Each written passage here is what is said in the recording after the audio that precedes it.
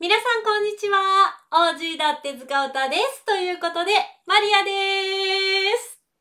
はい、このチャンネルでは宝塚の OG である私、津崎マリアが OG からの視点、そして宝塚が大好きという塚歌の視点、両方の視点から宝塚に関する様々な情報や皆さんと一緒に楽しめるような宝塚についての動画をお届けしています。もうこのチャンネルを見ていただければ、宝塚ファン初心者の皆さんから、長年宝塚を愛してくださっているコアなファンの皆さんまで、もっと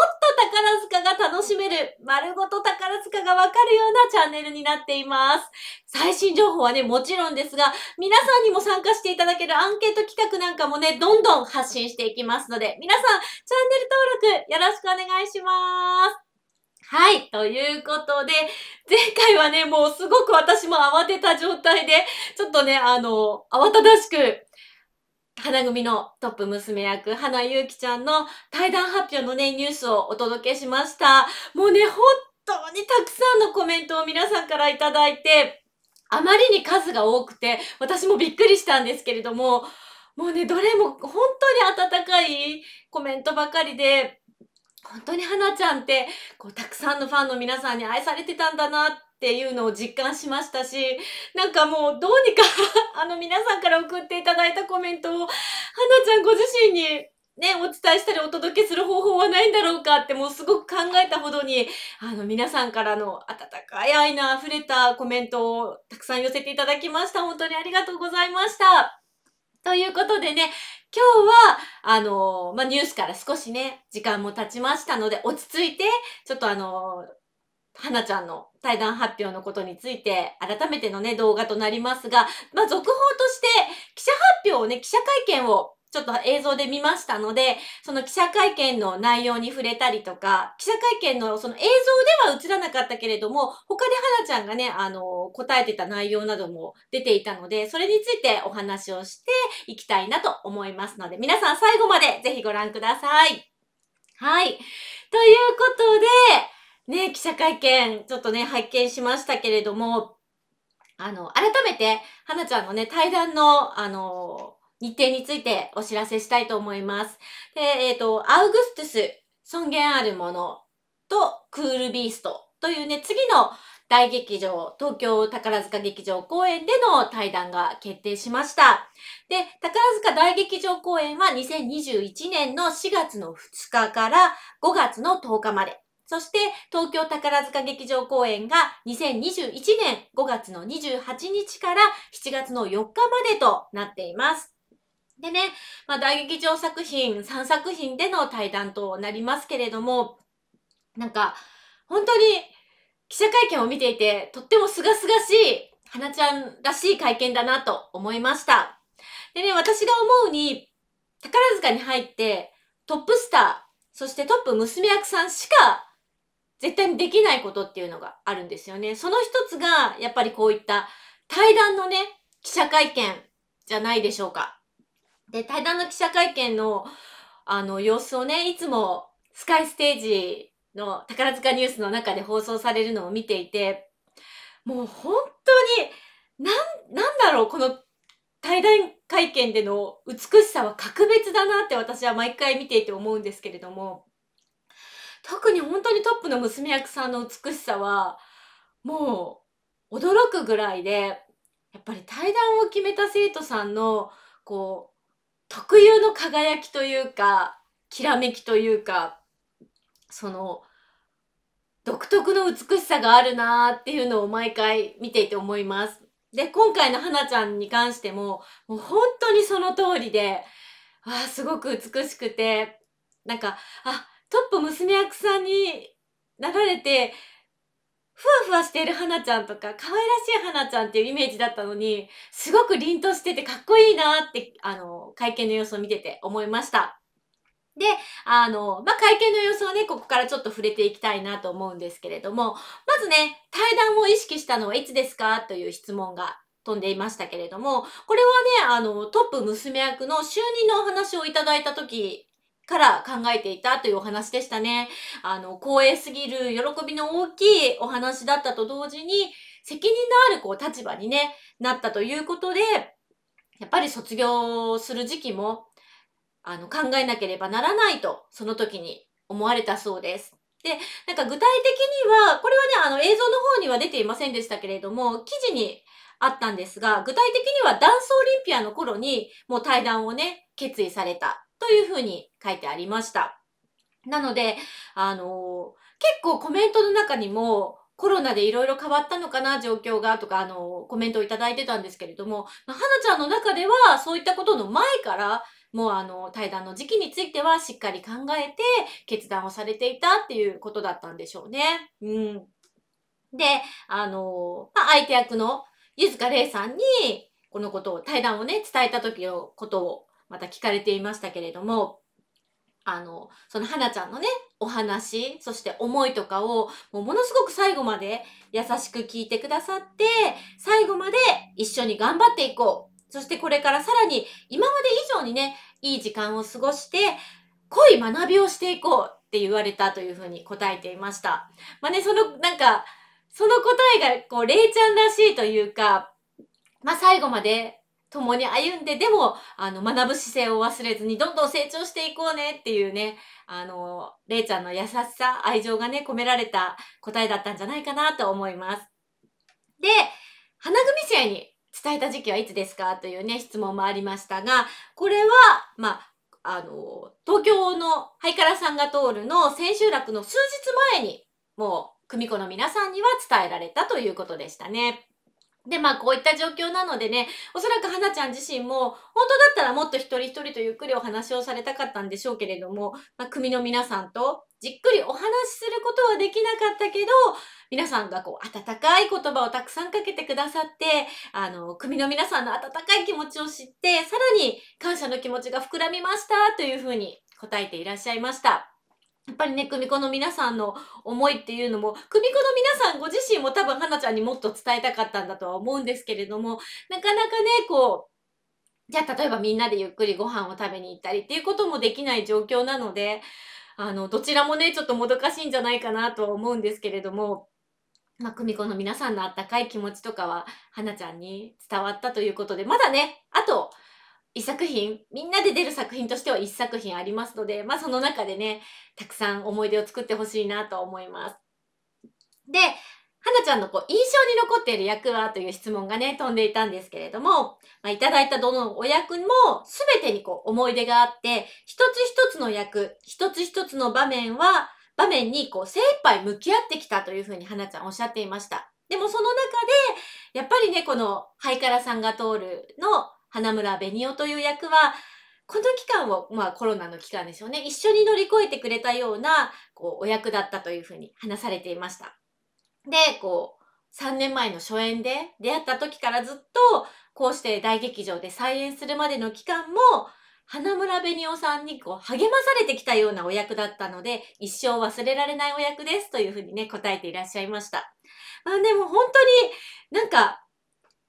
ハイカラさんが通るを見ていても、確かに、こう、花ちゃんとベニオさんがもう、一心同体、もう本当に一つになっていたようなお役だったので、正直もう花ちゃんなのかベニオさんなのかっていうのが、きっと見ていた方々もわからなくなるぐらいに、その、しっかり一つに、役と一つになってたんじゃないかなと思いますので、ね、この花ちゃんのやっぱり印象に残っている役、一番印象にな残っていて忘れられない役っていう答えは、すごく納得ができるようなね、答えでしたね。うん。で、あの、まあ、これまでね、相手役を務めてこられたアスミリオさん、そしてね、ゆずかれいさんの存在についても聞かれていました。で、これについて、まず、ミリオくんですね、アスミリオさんについては、花組のね、花ちゃんが花組に入る前から、もう花組のトップスターさんでいらっしゃったということで、もう、偉大すぎる存在の方で、こう、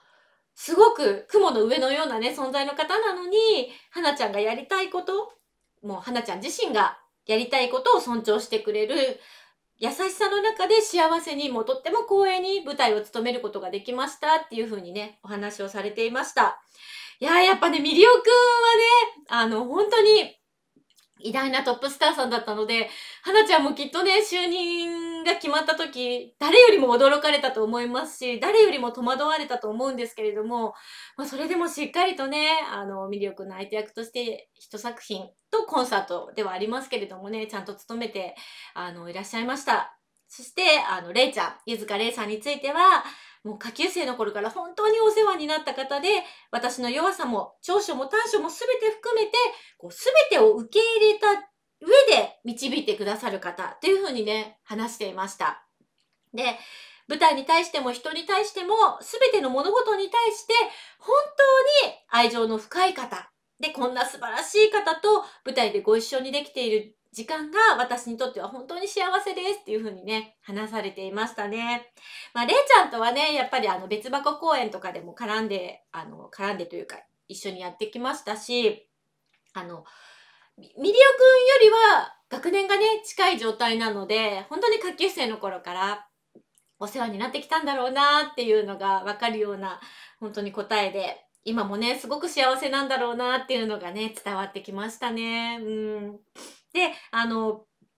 宝塚の、その、スカイステージの宝塚ニュースでは、これぐらいのね、内容しかあの放送はされなかったんですけれども、ちょっとね、他の新聞記事なんかでは、やっぱりね、あの、今の気持ちとしては、この立場になってこんなにもね、あの、愛に溢れた世界で、愛に溢れた作品と、皆さんにたくさんの愛情をいただいて、そして卒業する最後の日まで精進を重ねていきたいっていうね、今の気持ち、もっともっと成長していくんだっていう気持ちも話されていましたし、あとはやっぱりね、コロナの影響で公演が中止になった時のお話もされていたみたいです。で、あの、まあ、そんな時に心もね、ちょっと揺らいだ、揺らいでしまったりとか、寂しくなってしまったりとか、そういう気持ちもね、生まれたんだけれども、やっぱり自分でも対談をするっていう風にね、決断した以上は、今自分でできる精一杯をやっていきたいっていうふうにね、こう強く思ったっていうこともあの書いてあったので、そこはね、なんか花ちゃんのかっこよさというか強さなんじゃないかなって思いましたね。普段はね、もうほんわかしてて、すごいはんなりとした感じの花ちゃんですけれども、やっぱり自分が決めた以上は、こうち、気持ちも強く持って頑張ろうっていうね、思いがあったんでしょうね。うん。いや、対談を決めていたのにあんな風に公演がね、中止になってしまったのはもう、本当にどれだけ辛かっただろうなって思います。うん。しかも発表もできていない状態なので、ねえ、自分一人で抱え込んでたんじゃないかなっていうのはね、思いますね。うん。で、さらにこう、空組のね、トップ娘役の星風まどかちゃん、同期ですからね、あのどういう風にね、伝えましたかっていうことで、やっぱりまどかちゃんには直接会ってお話がしたいと思われたみたいで、東京公演の前に、こう、まどかちゃんに直接会ってね、お話をして伝えられたそうですけれども、まあもうまどかちゃんもね、いやもうとにかく寂しいというふうに、あの、花ちゃんの対談を惜しんでいたっていうふうに記事には書いてありました。うん。で、えっ、ー、と、さらにこう、対談後についてどうされますかっていう質問があったみたいなんですけれども、もうこれについては、まあ、まずはもう目の前の舞台を一生懸命に取り組みたいという答えをされたみたいで、その対談された後のことについては、まあ、言及をされなかったと書いてあります。まあね、もう本当に今のことで精一杯というか、今をとにかく楽しんで、今を目いっぱい頑張って、あの、最後のその日まで成長したいっていうね、花ちゃんのお気持ちが、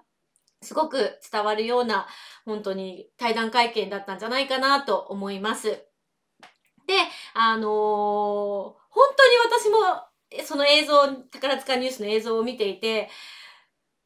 なんかどんな風に花ちゃんが思いを話されるのかなと思ってたんですけれども、すごく凛としてて、あの、しっかりしてて、で、あの、自分の今思っていることとか、対談に対する思いとか、まあ、相手役さんだったあすみりおさんや、ゆずかれいさんに対する思いっていうのを、皆さんにこう、自分の言葉でしっかり伝えたいっっていう姿勢がすごく伝わってきて、なんかすがすがしいというか、あの、会見でしたね。うん、迷いがないというか、花ちゃんの中できっちりともうトップ娘役になった時から対談のことについては時期も考えて、で、しっかりともう自分で決断をして、れいちゃんにもしっかりお伝えしてっていう、こう段階をしっかりと踏んで、今があるっていうのが、すごくよくわかるような、あの、会見でした。ね、本当に決意、花ちゃんの決意と誠実な思いが伝わるような会見だったので、あのー、ね、あれを見ると、やっぱりファンの皆さんもすごく納得されたんじゃないかなと思います。で、